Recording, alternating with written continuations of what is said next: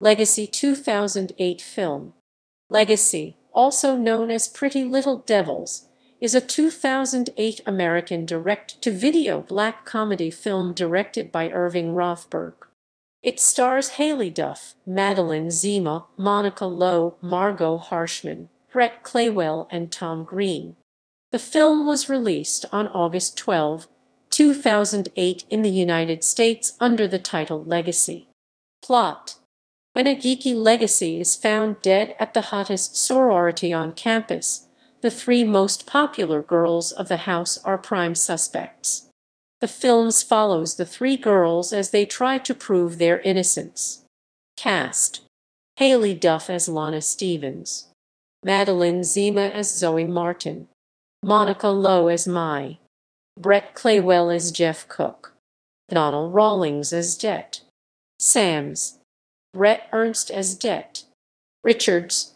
Tom Green as Det. Strauss. Kate Albrecht as Katie Whittington. Jane Sibbett as Mrs. Whittington. Margo Harshman as Nina. Laura Ashley Innes as Emily Barton. Shani Pride as Tina.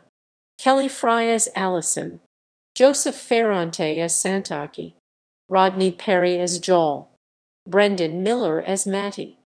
Marisa Guterman as Fanny Applebaum, Ian Nelson as James, Laura Ortiz as Pamela, Jillian Murray as Megan Woods, Rachel Melvin as Julie, Brooke Poehler as Stevie, Heather Hogan as Marilyn, Alicia Ziegler as Molly, Katie Chonacas as Ro Chai, Katrina Begin as Rachel. Reception.